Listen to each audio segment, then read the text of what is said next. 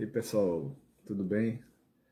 Desejo tudo de bom e de melhor para você e sua família. Vocês todos que acompanham e assistem. Hoje vamos dar seguimento aqui, né? Na nossa leitura, estamos na reta final do livro de Atos. Vamos lá.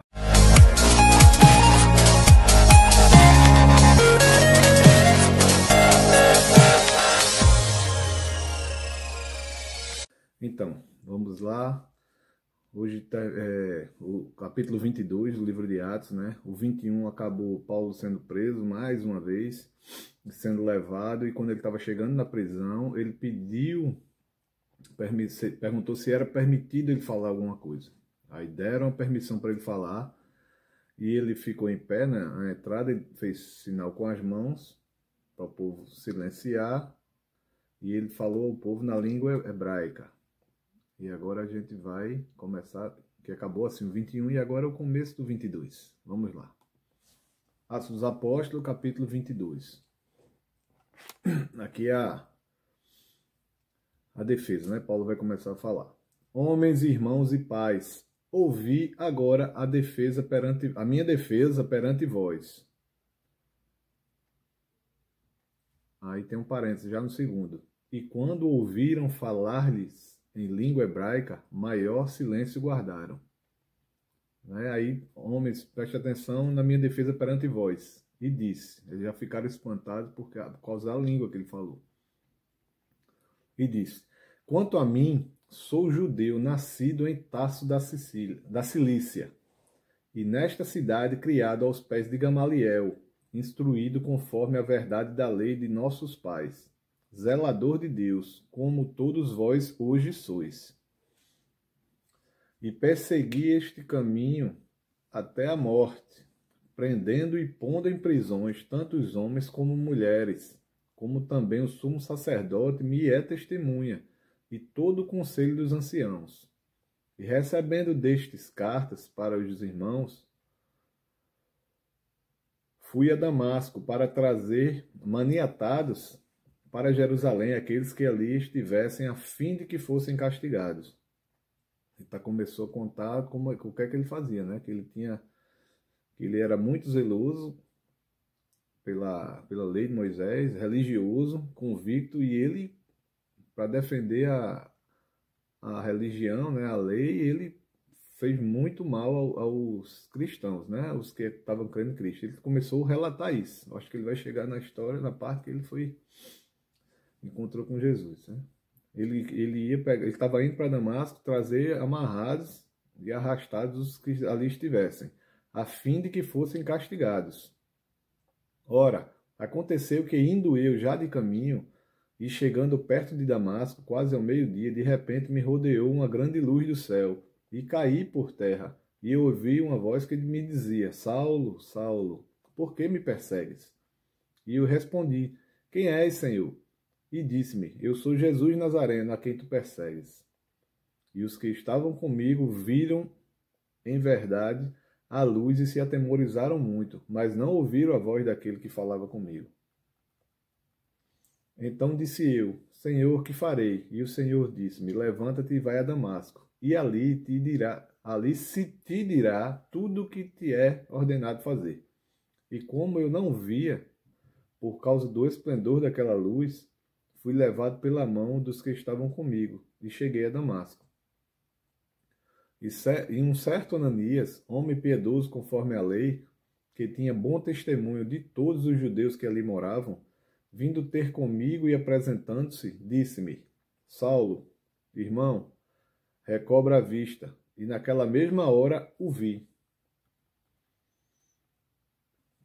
E ele disse: O Deus dos nossos pais de antemão te designou para que conheças a sua verdade e vejas aquele justo e ouças a voz da sua boca. Porque hás de ser testemunha para com todos os homens do que tens visto e ouvido. E agora, por que te detens? E agora, por que te detens? Levanta-te e batiza-te e lava os teus pecados, invocando o nome do Senhor. E aconteceu que, tomando eu para Jerusalém, quando orava no templo, fui arrebatado para fora de mim e vi aquele que me dizia: Dá-te pressa e sai apressadamente de Jerusalém, porque não receberão o teu testemunho acerca de mim.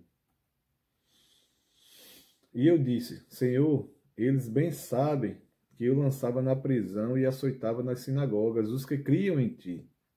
E quando o sangue de Estevão, tua testemunha, se derramava, também eu estava presente e consentia na sua morte, e guardava as capas dos que o matavam. E disse-me: Vai, porque hei de enviar-te aos gentios de longe, e ouvirão-no até esta palavra, e levantarão a voz levantarão a voz dizendo: Tira de terra um tira da terra um tal homem, porque não convém que vivam, que viva. E clamando eles, e arrojando-se as vestes, e lançando pó para orar. O tribuno mandou que o levassem para a fortaleza, dizendo que o examinasse com açoites, para saber por que causa assim clamavam contra ele. E quando estavam Atando as correias, disse Paulo ao centurião que ali estava: É-vos lícito açoitar um romano, sem ser condenado? E ouvindo isto, o centurião foi e anunciou ao tribuno, dizendo: Vê o que vais fazer, porque este homem é romano. E vindo o tribuno, disse-lhe: Diz-me, és tu romano? E ele disse: Sim. E respondeu o tribuno: Eu, com grande soma de dinheiro, alcancei este direito de cidadão Paulo disse: Mas eu sou de nascimento. E logo e logo dele se apartaram os que haviam de examinar, e até o tribuno teve temor quando soube que ele era romano, visto que o tinha amarrado, né? Tinham ligado. E no dia seguinte, querendo saber ao certo a causa por que era acusado pelos judeus, soltou-os das, prisão, das prisões e mandou ouvir o principais dos sacerdotes e todo o seu conselho, e trazendo Paulo, o apresentou diante deles. E acabou o 22. Então, aqui mais uma vez, né? Paulo foi preso, mas dessa vez ele teve um, um direito a, a contar a sua história. E mesmo assim, as pessoas se revoltaram contra ele e pegaram e se alvoroçaram e mandaram lançar ele na prisão, mas só que tem uma coisa, ele era romano. E quando ele se apresentou ao centurião como romano, eles ficaram com medo, porque ele era um cidadão daquele lugar. E ele não podia ser castigado sem ter, sem ter, ele tinha o direito de ter passar por um, tipo uma corte, né, tipo um, um julgamento. E não desse jeito, como ele, como tivesse pego um estrangeiro que está bagunçando na cidade, e pega, açoita, prende e trata como quem quer.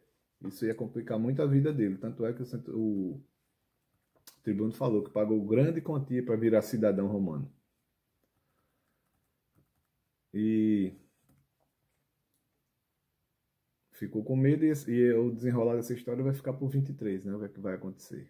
Tá bom? Deus abençoe. E nossa vida, a gente pode tirar aqui dessa. Esse centurião pagou grande quantia para virar um cidadão romano. E muita gente também paga muito caro para virar cidadão em outro lugar. Mas e a nossa cidadania na Nova Jerusalém? Ah, no reino espiritual de Jesus. Quanto é que vale? Quanto é que se pode pagar por isso? Já foi pago.